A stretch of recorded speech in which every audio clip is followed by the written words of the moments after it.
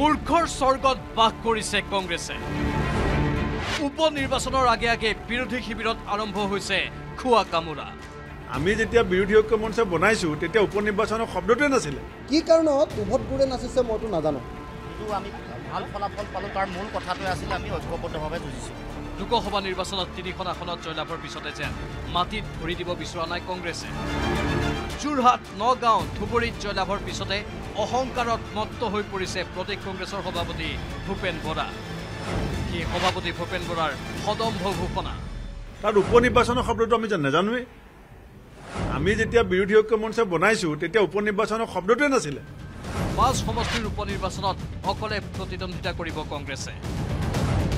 প্ৰদেশ কংগ্ৰেছৰ সভাপতিৰ মন্তব্যৰ সৈতে একমত প্ৰদেশ কংগ্ৰেছৰ তত্বাৱধায়ক তথা এ আই চি চিৰ সাধাৰণ সম্পাদক জিতেন্দ্ৰ সিং और पहले तो एपीसीसी और हमारे सभी सीनियर लीडर्स हैं वो उसके ऊपर चर्चा करेंगे প্ৰদেশ কংগ্ৰেছে সিদ্ধান্ত ল'ব উপ নিৰ্বাচনৰ মিত্ৰতা সম্পৰ্কে পিছে প্ৰদেশ কংগ্ৰেছৰ সভাপতি ভূপেন বৰা আৰু কংগ্ৰেছ তত্বাৱধায়ক জিতেন্দ্ৰ সিঙৰ মন্তব্যৰ পিছতে সৰব বিৰোধিতা বিৰোধী ঐক্যৰ আন আন ৰাজনৈতিক দলৰ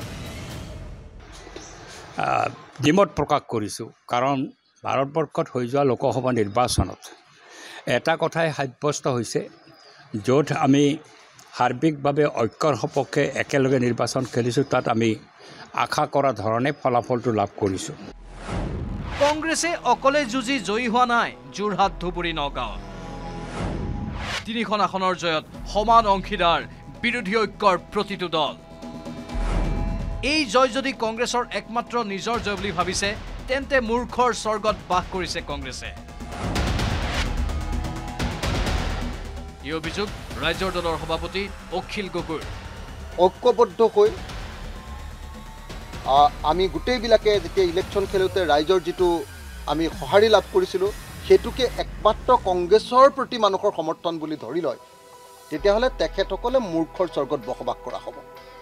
অখিল গগৈৰ এনে তীক্ষ্ণ সমালোচনাৰ সমান্তৰালকৈ সৰব অসম জাতীয় পৰিষদৰ সভাপতি তথা বিৰোধী ঐক্যৰ সাধাৰণ সম্পাদক লুৰিণজ্যোতি গগৈ।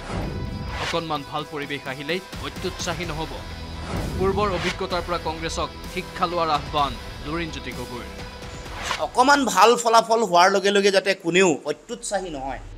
কংগ্ৰেছে অহংকাৰ নেৰিলে পৰিণাম ভয়ংকৰ হোৱাৰ সকিয়নি অখিল গগৈৰ। কংগ্ৰেছে অকলে যদি উপ নিৰ্বাচনত প্ৰতিদ্বন্দ্বিতা কৰে তেন্তে বিৰোধী ঐক্যৰ আন আন দলসমূহেও নিজ নিজ সিদ্ধান্ত ল'বলৈ বাধ্য হ'ব বুলি মন্তব্য কৰে অখিল গগৈয়ে। কিন্তু মিত্ৰ দলৰ চূড়ান্ত বিৰোধিতাৰ পিছতো ডোণ্ট কেয়াৰ মন্তব্য ভূপেন বৰাৰ।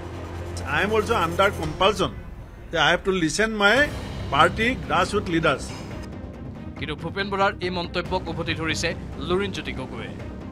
উপ নিৰ্বাচন কোনো বাহিৰৰ নিৰ্বাচন নহয়। বিধানসভা নিৰ্বাচনৰে অংশ বুলি সোঁৱৰাই দিলে লুৰিণে।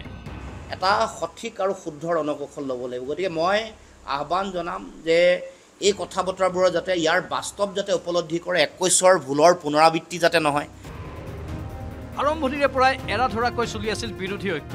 এতিয়া কংগ্ৰেছৰ একলা চলো নীতিয়ে বিৰোধীৰ মাজত পুনৰ বিভাজনৰ বীজ সিঁচিলে। প্ৰশ্ন হৈছে দুহেজাৰ ছাব্বিছৰ নিৰ্বাচনলৈ বিৰোধী ঐক্য টিকি থাকিবনে বঙাইগাঁৱৰ পৰা উপানন্দ শৰ্মা বৰপেটা ৰোডৰ পৰা ধনজিৎ দাসৰ সহযোগত বলেন ভট্টাচাৰ্যৰ report News Eighteen Assam North East